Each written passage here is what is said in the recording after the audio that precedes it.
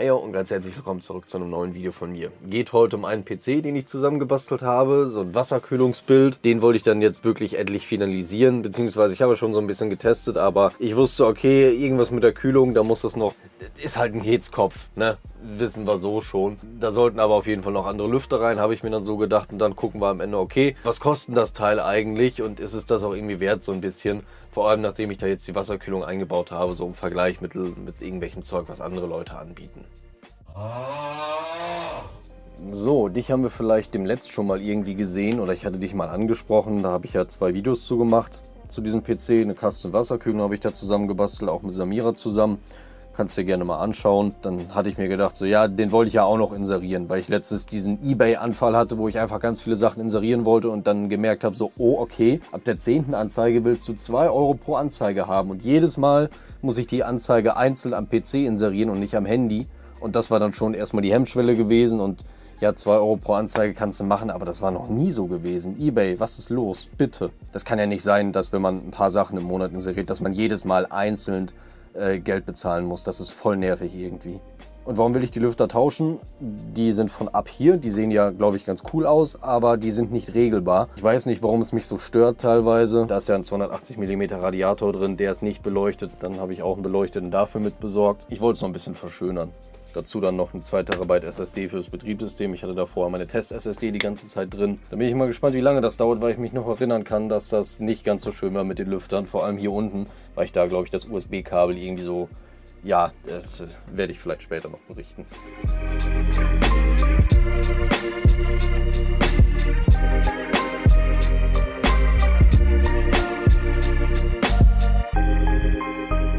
Finde es ein bisschen komisch teilweise. Optisch ändert sich hier dabei überhaupt nichts. Das Einzige, was mich wirklich gestört hat, waren die Lüfter. Ich frage mich, warum es Hersteller gibt, die dann Lüfter so anbieten, die auf 12 Volt angeschlossen, dann in so einem Set nicht regelbar sind. Das ist doch total nervig, ne? Da reagiere ich manchmal ein bisschen allergisch drauf. Aber vielleicht bin ich da auch zu pingelig. Wie, wie ist das bei euch? Ich meine, vor allem das Teil hier hat ja jetzt auch ordentlich was an Leistung. Und wenn man das Teil hört, da sollte man sich auch nicht beschweren. Aber trotzdem, irgendwie eine Regelung oder so sollte es da schon Optionen geben. Ich hätte ja auch ein anderes Lüfterset irgendwie einbauen können, beziehungsweise habe ich das schon woanders verbaut, aber ich hätte es auch hier machen können, dass ich das dann mit der Fernbedienung steuern kann, aber der war mir tatsächlich nicht nachgewiesen. Ich hatte da tatsächlich schon so einen Step-Down-Konverter eingebaut, aber ich fand die Idee auch nicht ganz so praktisch. Wenn man die Geschwindigkeit dann ändern möchte, dann hätte man hinten die Gehäuseseite öffnen müssen. Da wäre es mir, glaube ich, nicht allzu gut gegangen mit dem Zeug. Meiner Meinung nach wäre das einfachste gewesen, wenn der Hersteller ab hier einfach hingegangen wäre und so ein PWM-Signalverteiler in den Switch oder in den Hub quasi eingebaut hätte, den man da auf dem Mainboard anschließen kann. Dann kann das vom Mainboard geregelt werden, alle Lüfter zusammen, easy peasy. Da musst du auch nicht extra irgendwas einbauen, das sind dann einfach die Lüfter und gut ist. Warum hat man das nicht gemacht? Ja, wenn es ein paar Cent mehr kostet, schlag's doch am Ende oben drauf. Ich verstehe das nicht. Also ja, es gibt verschiedene Preisklassen hier und da. Warum gibt es dann immer solche Produkte teilweise, die dann nicht ganz durchdacht sind? Und warum gibt es dann weiterhin Produkte, die einfach komplett völlig durchdacht sind, dann sehr viel mehr Geld verlangen? Wie zum Beispiel irgendwie so ein Set von Corsair oder irgendwie Daisy Chain mäßig irgendwas.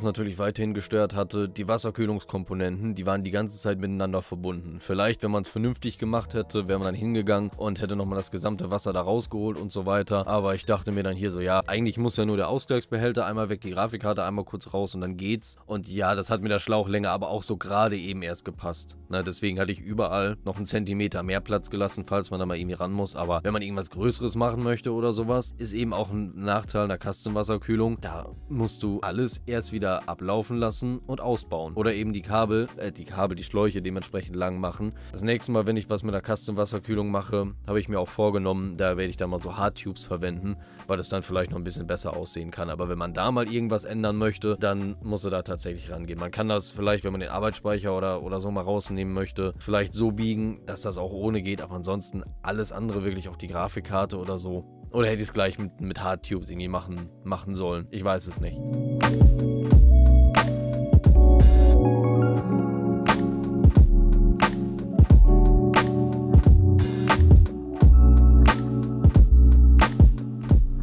Lieber Mann, das hätte ich echt nicht gedacht. Ich war mit Sicherheit anderthalb Stunden damit beschäftigt, alle Lüfter aus und wieder einzubauen.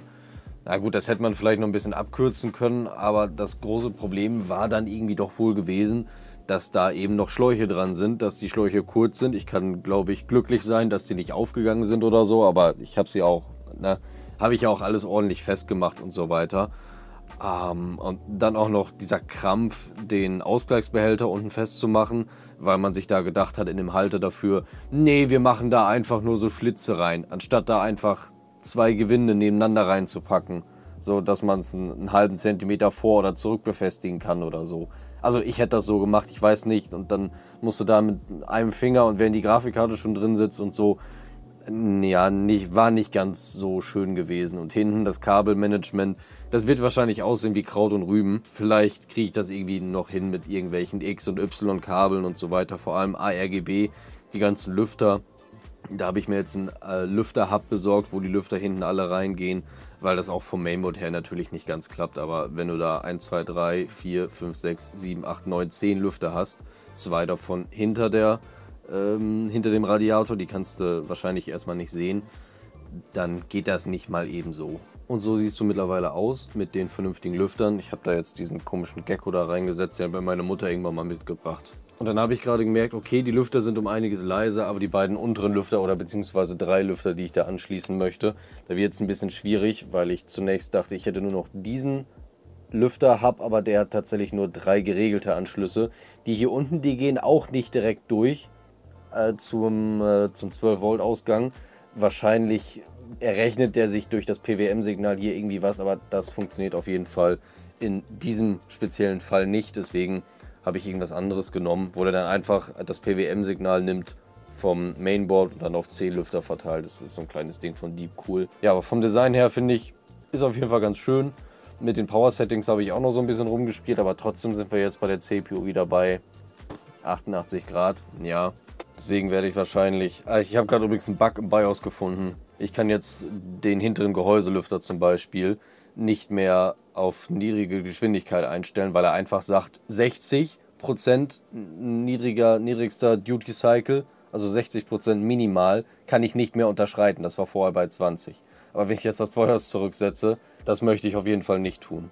Ich glaube, ich mache die CPU-Lüfter noch einen Schluck schneller und dann ist gut. Die CPU wird ja beim Zocken sowieso nicht die ganze Zeit äh, vielfältig ausgelastet sodass das von den Temperaturen her eigentlich okay sein sollte. Dann fällt mir aber gerade mal auf, könnt ihr das sehen? Dort oben, da ist so ein bisschen Luft noch im System. Hm.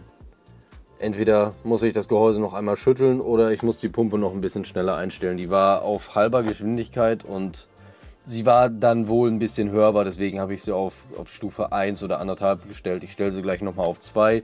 Da habe ich jetzt einfach noch ein bisschen geschüttelt, die Pumpe ein bisschen flotter eingestellt. Da habe ich dann noch 1, 2 Grad rausgekriegt und ich habe gemerkt, dass die beiden Lüfter, die RGBs, nicht übermäßig schnell drehen. Die laufen jetzt auf voller Geschwindigkeit und sind dabei fast nicht hörbar. Deswegen sind dahinter ja auch nochmal zwei. Den habe ich dann auch nochmal einen kleinen Ruck gegeben. Dann hört man nicht unter Auslastung, aber die CPU da drin ist halt ein Hitzkopf, das ist einfach so. Trotz ein bisschen Power Management und so weiter.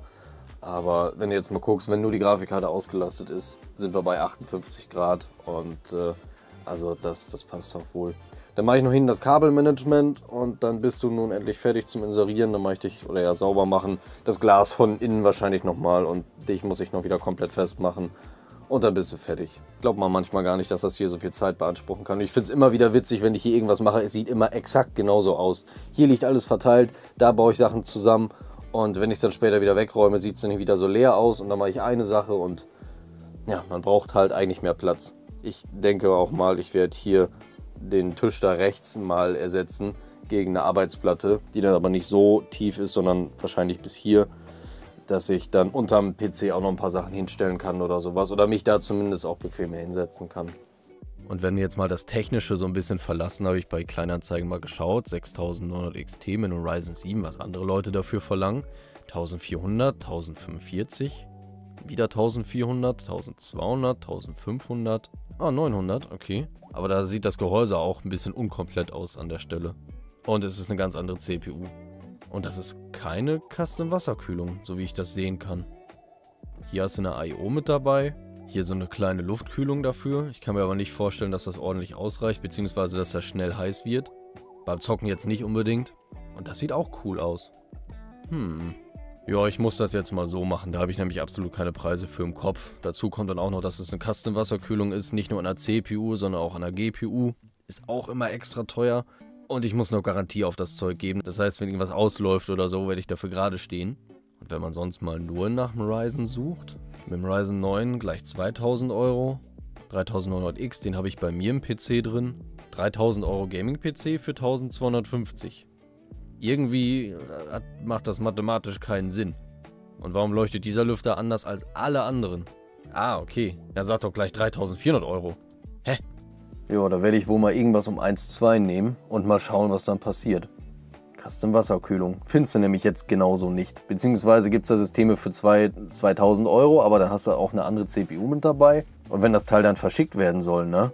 Hattet ihr das auch schon mal, dass man eine Custom Wasserkühlung schon bewässert verschickt oder muss man das dann separat machen?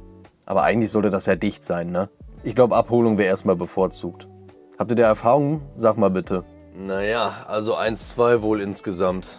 Dann vielleicht noch mit dazu, ja gut, ein Wasserkühlungsbock dafür. Die Arbeit alleine fürs Auffüllen und fürs Testen und so weiter und so fort, die kriegst du da glaube ich nicht großartig wieder. Garantie dafür. So leid es mir tut. Irgendwie finde ich, ist das ein Fünkchen zu viel, aber wenn andere das auch verlangen, hm. Und dazu ist das Gehäuse ja noch relativ klein. In dem Video dazu wurde vorgeschlagen, so ja, vielleicht noch ein Radiator mit dazu, aber das passt da tut mir leid, das passt da einfach gar nicht rein. Das Gehäuse gefällt mir auch so gar nicht mehr. Also wenn man da jetzt nichts mit einer Wasserkühlung oder so zu tun hat, dann geht das. Aber alleine unten der Abstand, da ist das Mainboard zu Ende und dann ist auch das Gehäuse zu Ende. Dass das mit den Lüftern da unten gerade so noch passt, vor allem mit dem USB 3 Anschluss da, grenzt so ein bisschen an Wunder, dass das so passt. Ich würde auch schon fast sagen, die Komponenten da raus und irgendwo anders rein. Aber ich habe das Teil jetzt zusammengebaut. Ich lasse das jetzt erstmal so. Und wenn das dann niemand haben will, wenn Leute finden, dass es hässlich ist oder sonst irgendwas, dann werde ich es anders machen. Es wäre auch anders schlauer, das gebe ich auch wohl zu. Aber jetzt alles wieder rausruppen, mh, hm, und ich habe auch was gelernt fürs nächste Mal. Wenn nochmal eine Kaste Wasserkühlung ansteht, dann auf jeden Fall bei einem Riesengehäuse. Ich sehe das Gehäuse jetzt nicht als klein an, aber wenn du so ein Micro-ITX-Bild zusammenbastelst, ne, da musst du auch ordentlich, da kommst du auch nicht überall rein. Und da habe ich mir hier was Schweres ausgesucht, ohne dass ich es wollte. Temperaturen beim Spielen hatte ich ja schon nachgeschaut.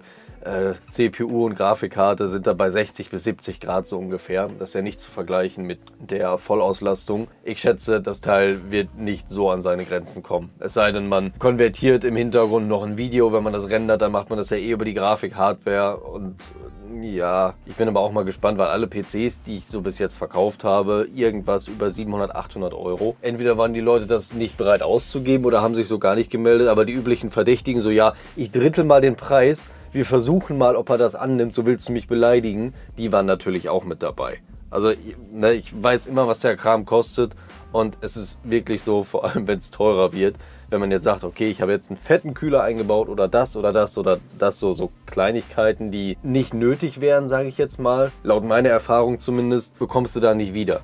Deswegen verbaue ich auch üblicherweise nicht allzu teures Zeug. Und soll es dann wirklich dazu kommen, dass er verschickt werden muss, dann werde ich am besten zwei Kartons nehmen und den einen in dem anderen Karton nochmal ordentlich polstern, weil es ist ein Glasgehäuse. Ne? Also es hat den Weg hierhin ja auch überlebt, klar. Glas und dann auch noch eine Wasserkühlung da drin, wenn da irgendwas ausläuft oder so. Ja gut, hast du viel sauber zu machen. Das Zeug leitet eigentlich kein Wasser und solange der PC sowieso nicht an ist, ist das erstmal egal. Aber gut, das war das Wort zum Sonntag oder so. Ich weiß nicht, wann das Video kommt. Ich bin sehr gespannt, was ihr zu sagen habt. Vielleicht sagt ihr auch, ja, ist absoluter Müll, kann man so nicht verkaufen dann äh, höre ich mir das nochmal an. Aber da müsste ich da jetzt alles rausruppen oder so. Und das, das mache ich nicht. Und es läuft ja so alles. Und ich übernehme die Garantie dafür. Also äh, mache ich ja sowieso immer bei allem. Also wenn irgendwas nicht funktioniert, dann entweder geht irgendwas kaputt und Leute melden sich nicht bei mir oder das, was ich zusammenbaue, das hält wirklich einigermaßen lange. Ich mache mir immer zu viele Gedanken, habe ich das Gefühl. Overthinking oder sowas. Ja gut, dann danke fürs Zuschauen und eventuell bis zum nächsten Mal.